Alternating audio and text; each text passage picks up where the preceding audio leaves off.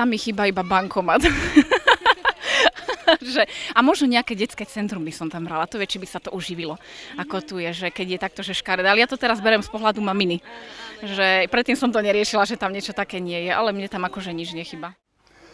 No s radosťou by som to zariadil, ale nie je to mojej síle ani kompetencii. Napriek tomu, že som očakával negatívnu odpoveď od jednotlivých bank, asi pred pol druhá rokom som rozposlal požiadavku a listy na naše najväčšie banky, ktoré pôsobia na Slovensku. A všetky Unisimu odpovedali vzhľadom na počet obyvateľov, aj teda keby sme spádove zobrali obce Klakovskej doliny, e, nejakú tú ich efektivitu, ktorú oni počítajú, jednoznačne žiaľ nie. Takže tým pádom to pre mňa tento problém skončila. Musíme nadalej len využívať bankomat najbližšie v Žarnojci. Mhm. No a bola tam nejaká hranica, teda, že vám povedali, že áno, keď uh, raz budete mať o tisíc, ja neviem, obyvateľov nie, viac? Nie, nie, v takej, e, e, takým spôsobom odpoveď nebola. Bolo len, že ten počet obyvateľov musí byť podstatne vyšší. Ja predpokladám, že by to malo byť niekde nad, nad 5 tisíc. Nad, 5000 obyvateľov. No, no, čiže, uh, čiže, povedzme hneď, koľko má Župkov obyvateľov. Župkov má 800, v súčasnosti mm-hmm.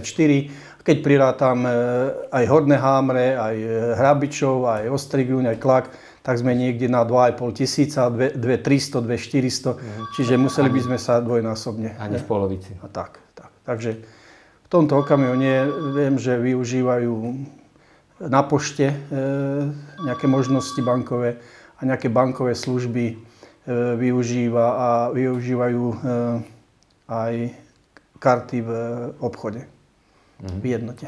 Čiže takéto...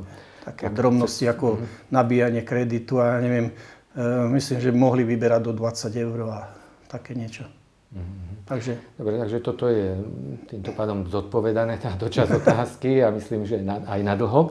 Dobre, a prejdeme asi na tú, na tú väčšiu časť a na tú závažnejšiu, teda, že v Župkové mamičkám, teda zatiaľ teda len jedna sa vyjadrila, ale teda, že chýba niečo také ako materské rodičovské centrum, kde by sa teda eventuálne schádzali s tými detičkami, tak dá sa niečo v tomto zmysle z vašej strany? E, myslím si, že je to celkom zaujímavá, zaujímavá myšlienka ako, hm, aj vzhľadom na to, že, pardon, že sme e, postavili tu 75 bytov a tým pádom narastlo zhruba o 160 obyvateľov v mhm. obci. A väčšinou sú to mladé rodiny, tak e, je aj nárast počtu obyvateľov, e, aj tých mladších vekových kategórií. No a ak si dobre pamätám, tak z posledného nejakého prieskumu aj štruktúry obyvateľov, tak e, máme cez 50 detí od 1 do 6 rokov.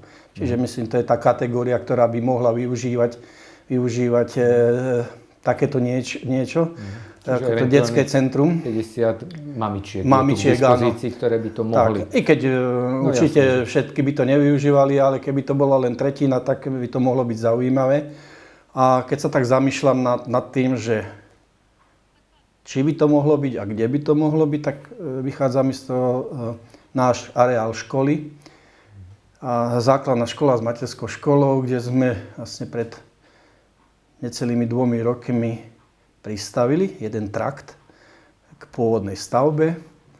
Tam sme rozširovali materskú škôlku. E,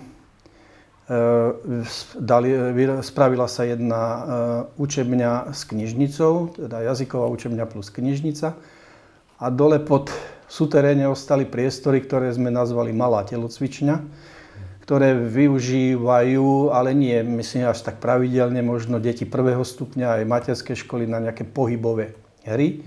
A myslím, že táto miestnosť by v celku aj naplňala parametre nejakého toho detského kútiku, detského centra. Má to cez 50 m štvorcových, je to vykurované, e, je to dobrý prístup, vlastne bezbariérový. Takže mm, touto myšlienkou sa určite budem vážne zaoberať. Určite oslovím minimálne tú mamičku, ktorá o tom hovorila, plus teda, e, že by sa dali dokopy. E, povedali si svoju predstavu, no a budeme spolu s pani riaditeľkou v základnej škole hľadať nejaké finančné prostriedky na vybavenie. Mhm. Nemyslím si, že to musí byť vybavené hneď na prvý, prvý raz, ale postupne niečo máme v škôlke, nejaké veci, ktoré, ktoré sa dajú tam využiť. Určite majú aj mamičky doma nejaké e, hry, hračky, ktoré by mhm. mohli poskytnúť do toho centra a my už by sme to do, dovybavili tým základným, základným vybavením, aby teda sa tam mohli, mohli stretávať. Takže myslím si, celkom dobrá myšlienka, aj sa ho pokúsime zrealizovať, samozrejme za podmienky, že bude záujem.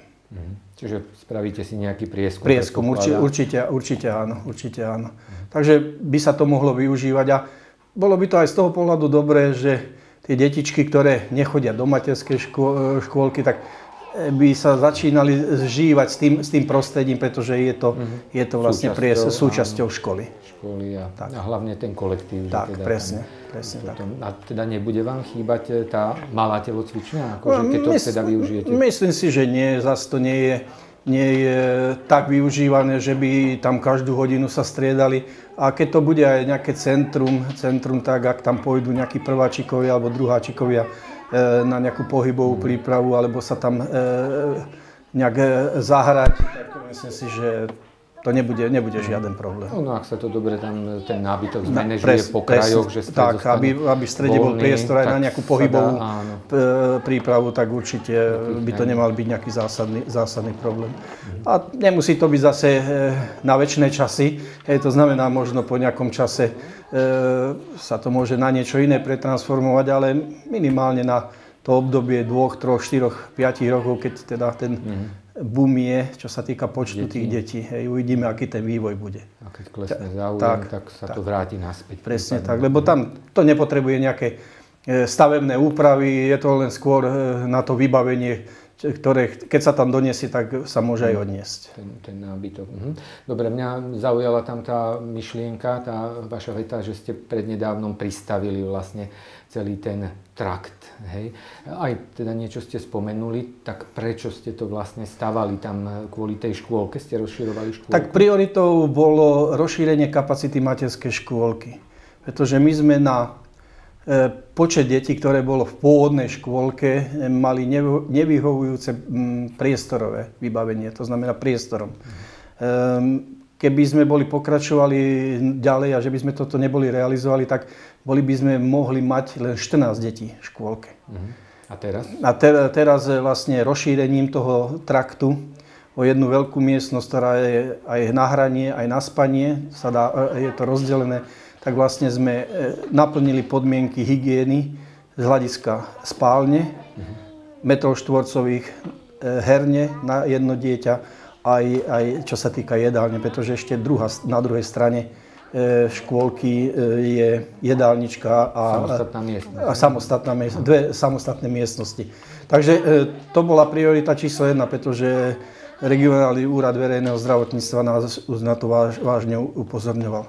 No a no, koľko teraz máte? 24. 24. 24 a to je aj hraničná? Áno, je to hraničná. hraničná e, jed, pokiaľ je jednotriedka, môže byť 21 a zriadovateľ môže plus 3 e, mhm. ako dať súhlas navýšenie, čiže máme naplno obsadenú tú kapacitu 24 detí. A je, alebo bol teda záujem väčší ako vaša kapacita? Uh, myslím si, že keby všetky deti chodili, chceli prísť do škôlky, ktoré splňajú vekovú kategóriu, tak minimálne ešte jednu pol triedu by sme naplnili. Uh-huh. Ale zase to nie je tak pravidlom, že... No nemali záujem. Hej, všetci, takže... Niektoré sú doma, mamičky, hej, s druhým dieťaťom, alebo je tu aj komunita, ktorá e, dáva len do predškolského, mm. pokiaľ teda je v predškolskom veku, kde je povinné, povinné sa zúčastniť toho vyučovacieho procesu na nejaký čas. Takže z tohto pohľadu myslím, že nám zatiaľ postačuje. A keby bolo ozaj veľmi zlé, tak, tak ešte pristavíte. E, nie, nebudeme pristavať, ale vieme si to zmanéžovať tak, že v priestoroch základnej školy by boli povedzme predškoláci, len samostatne, uh-huh. či by bolo 7, 8, 9 alebo koľko a vlastne tým pádom by sme vytvorili priestor 3 až 5 ročné e, zase, aby boli v materskej škole. Takže to bola priorita číslo jedna, prečo nás to nutilo hľadať riešenie. E, pretože projekt na rozšírenie základnej školy nad stavbe, lebo my sme chceli ísť do podkrovia. Aha. Jednoducho ten nebol re, reálny. reálny z, to dôvodu? Znam, z dôvodu, že taká výzva sa už nevypisovala. A bolo to tak finančne náročné, že určite by sme to e, by toľko finančných prostriedkov, keby aj tá výzva bola, e, by sme na to neboli dostali, pretože e, všetky tie výzvy, väčšinou tie výzvy školské sú nejakým, určené nejakým benchmarkom, to znamená na dieťa, hej, hodnota. No, Čiže, deti, samozrejme. Takže to by asi nebolo reálne, tak sme hľadali nejakú inú, menej nákladnú alternatívu a vyšlo nám z toho to, že to treba pristaviť. A hľadali sme kde? Či do strany, či dopredu, či dozadu. No a ako sa hovorí, že niekedy treba po, poslúchať aj ženy, tak e, myslím si, že pani riaditeľka základnej školy mala veľmi dobrý návrh, ktorý keď sme rozmerali a stavebne upravili, tak jednoducho vzniklo z toho to, čo je. Mm-hmm. Čiže Takže dozadu? Dozadu, v jednom tom trakte. Tí, ktorí chodia popred školu a hlavnou cestou, tak ani, ani e, nezbadajú, že je tam pristavené. A by som povedal ani tí, ktorí chodia zo zadnej strany, pretože je to tak e, vlastne správené, že je to pekne napojené na predchádzajúcu existujúcu stavbu. Mm-hmm. Čiže tam sme rozšírili materskú školu, dole pod materskou školou. Materské centrum. Materské centrum, ktoré teda by môžeme uvažovať. To mal byť pôvodne sklad, potom ja neviem, nejaká iná technická miestnosť. A napokon sme si povedali, že to spravíme do takejto podoby, ako je to. A už ako sa to využije, či to bude malá telocvičňa, teraz materské centrum, alebo niečo možno výhľadové iné, ten priestor, priestor je tam.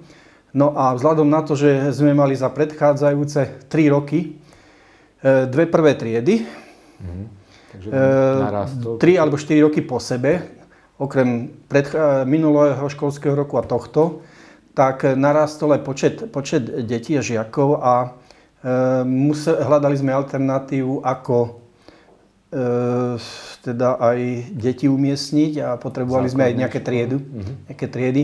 Tak sme premiestnili knižnicu, ktorú sme mali na e, dolnej chodbe, sme premiestnili do tejto prístavby a spojili sme to s jazykovou učebňou, kde je, e, kde je 24 počítačov plus pre učiteľa, plus interaktívna tabula, čiže kde môže ísť celá trieda.